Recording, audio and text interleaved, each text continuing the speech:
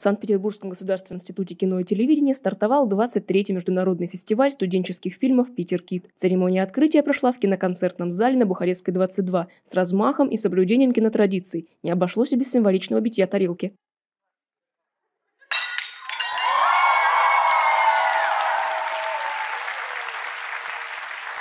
С 19 по 23 октября проходит первый внутривузовский этап фестиваля. Участие принимают ленты, созданные в качестве курсовых, дипломных, дополнительных творческих работ. Вы можете показать свои фильмы зрителям и обсудить им.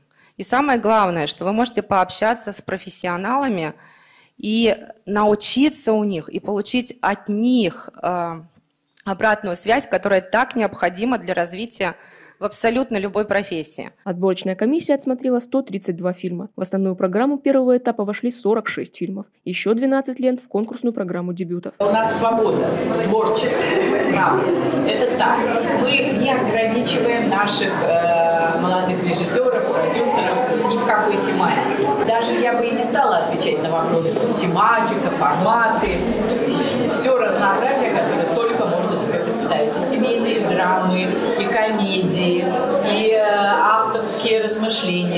фантазии, и такой прообраз какого-то научно-популярного кино.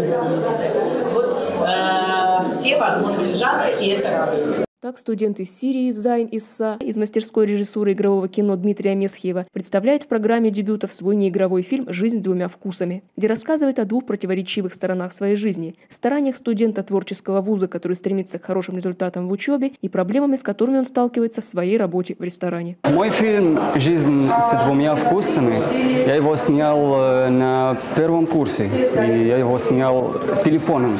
На самом деле это очень э, простая такая работа, работа. Но, конечно, спасибо, что в этом институте есть э, возможности показать э, такой простой фильм э, на, большом, на большом экране. В организации фестиваля задействованы все подразделения института. Для студентов всех направлений обучения Питер Кит – это возможность получить профессиональный опыт. Так начинающие журналисты занимаются информационным освещением каждого фестивального дня. Наша сегодняшняя задача в команде взять интервью у участников, у зрителей, также у членов жюри, осветить э, это мероприятие, показать его самые яркие, необычные стороны и дать почувствовать зрителю всю атмосферу кино, искусства, творчества и познакомить его вот с миром кинематографа. Сегодня я выполняю роль оператора, работаю в паре с Екатериной, которая э, давала интервью до этого. Для меня это супер важно, супер полезно, потому что, во-первых, я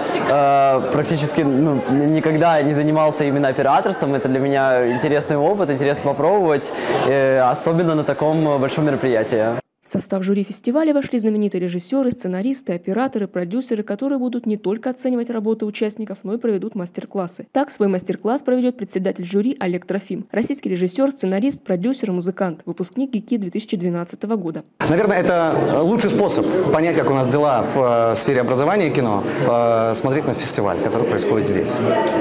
Никакие презентации, э, никакие, я не знаю, экскурсии и отчеты нам не подскажут подскажут о том, что у нас происходит с образованием, а, лучше, чем фестиваль работ, которые сделали студенты на базе университета, а, с его помощью и самостоятельно. Вот сегодня и в ближайшие несколько дней мы все это увидим. Победители первого этапа фестиваля «Питер Кит» будут соревноваться с представителями иностранных киношкол. Второй этап фестиваля пройдет с 24 по 28 ноября.